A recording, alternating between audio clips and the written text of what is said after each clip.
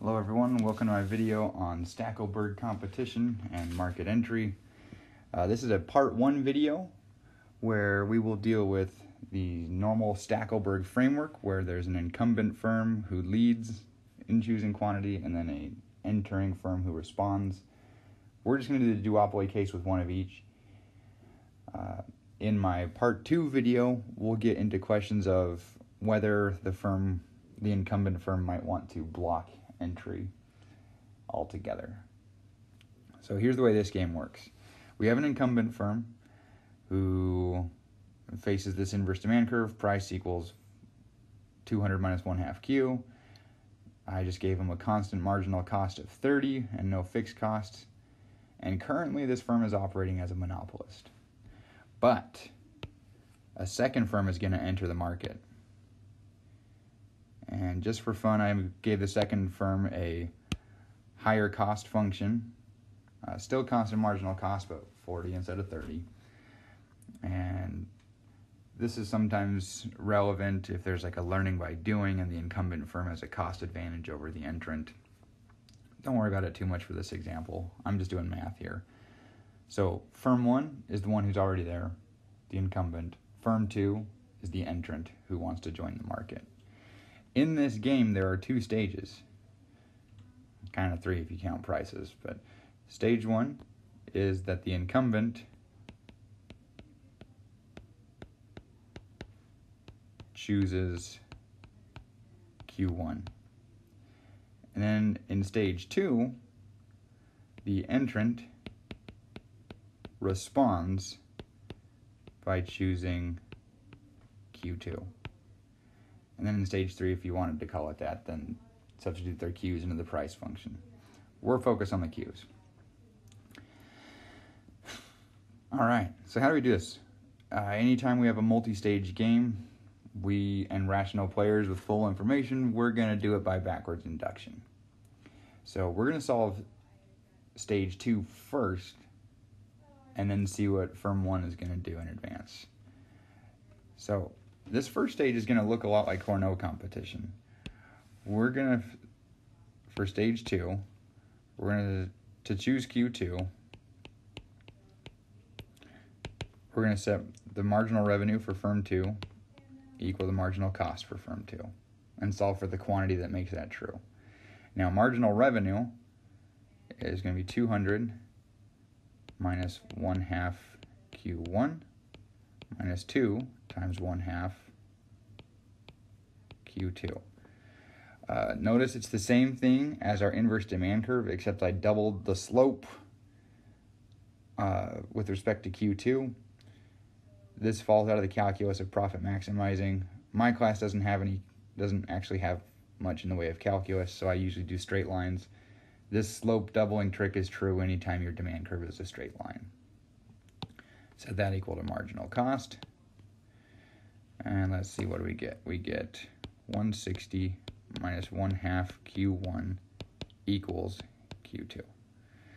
And this is firm 2's best response function. Whatever Q1, whatever quantity firm 1 produces, firm 2's response is going to be that. This is the best they can possibly do. Now, firm 1, we have a game with complete information and no uncertainty and all that stuff. Uh, firm 1 now gets to choose Q1. And it's going to do so knowing that this is what firm 2 wants to do. So firm 1, before it even does any calculus, before it chooses its quantity, we're going to let them modify their demand curve, substituting in this value. Uh, let me show you what I mean real quick.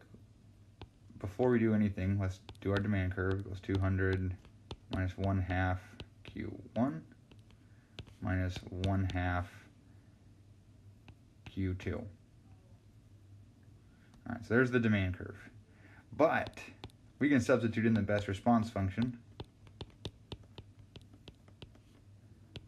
minus 1 half um, 160 minus 1 half Q1. Uh,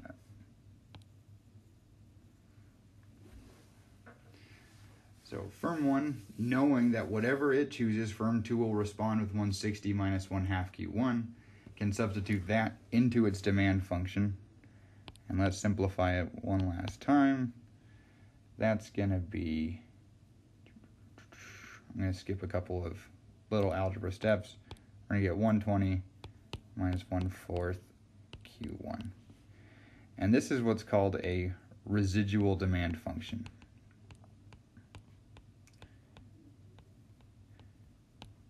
This is the demand function that's left after we solve out Q2.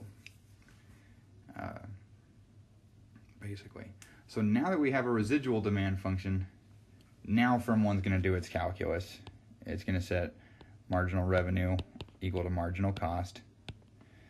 Let's see, marginal revenue is 120 minus 2 times a fourth Q1. So again, just doubling the slope with respect to the Q I'm choosing equals 30.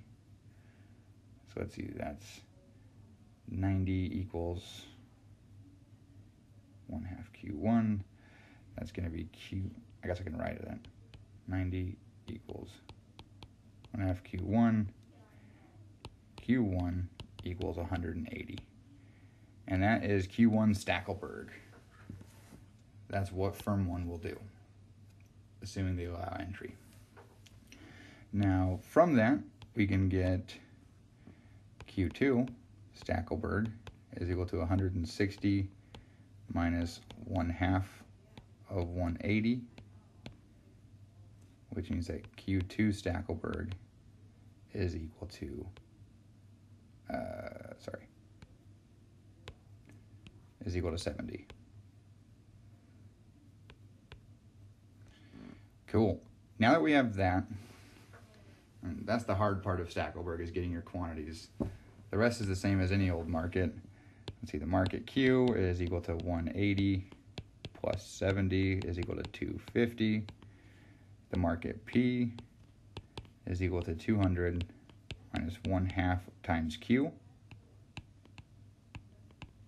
which is going to be 75.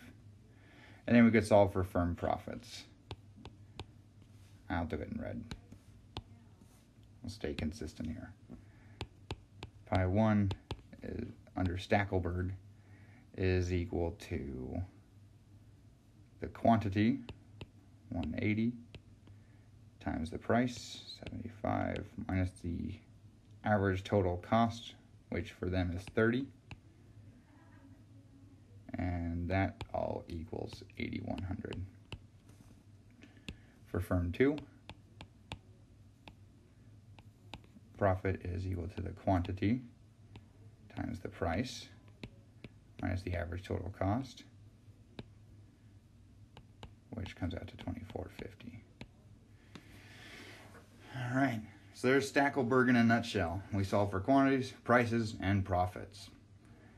Uh, so assuming firm one's going to let firm two enter the market, this is the best that they can both do um, at the time of entry. In my next video, we'll get into issues of are might there be ways of firm one preventing firm two from entering, and it's going to really depend on if there's entry costs in addition to this cost function of production. Uh, if there's no entry costs, then no, Stackelberg is where it's at. Uh, if there are, well, it'll just depend on how big they are. So we'll talk about that next. Uh, I hope this was helpful. Uh, if not, sorry to waste your time. Thanks for watching, and good luck, guys.